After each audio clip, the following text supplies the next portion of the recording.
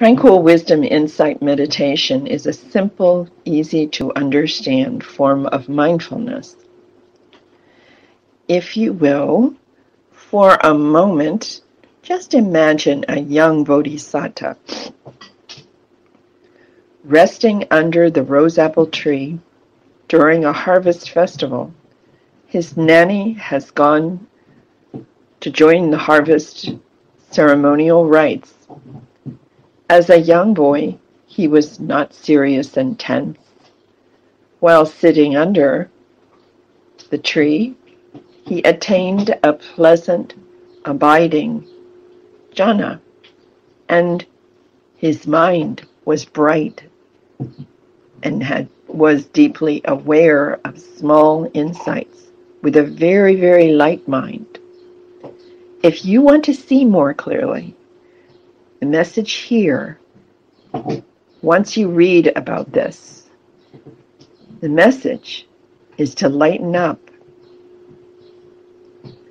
Have some fun exploring with a light mind and a smile, because smiling leads us to a happier and more interesting practice.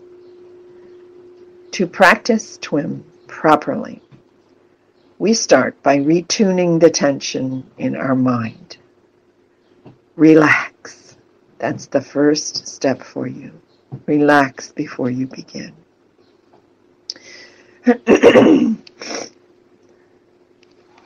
now, Buddhist meditation follows the steps of the Four Noble Truths to investigate mind, just as the Buddha describes he did himself. The practice is observing how mind's attention moves moment to moment in order to see clearly how the impersonal process, anatta process of dependent origination, paticca samuppada, occurs in each event in our life. Seeing and understanding how mind's attention operates is the principal importance in this practice. By learning to observe dependent origination as we go through events every day in our life, we will clearly see the Four Noble Truths, the three characteristics of all existence, too. By carefully observing the arising and the passing away of phenomena, we will realize ultimately the impersonal truth of our existence. Successful meditation needs a highly developed skill of mindfulness. Mindfulness is your observation power. The six R's training that Bhante Vimalaramsi devised is actually the practice of the four steps of right effort found in the Eightfold Path. That's Sama Vayama.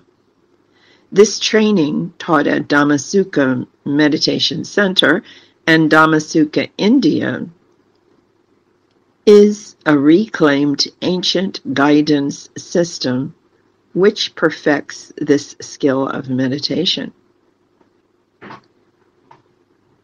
The first R is to recognize. But before we do that, the meditator must recollect or use their observation power, mindfulness, for the meditation cycle to start running.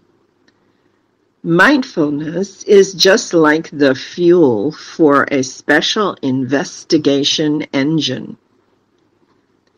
Without mindfulness, everything stops. Through persistent practice and new knowledge that we gain, we find relief from suffering of all kinds during our daily life. To begin this cycle smoothly, one must first start your engine of mindfulness. Go to step two to hear the steps of the practice.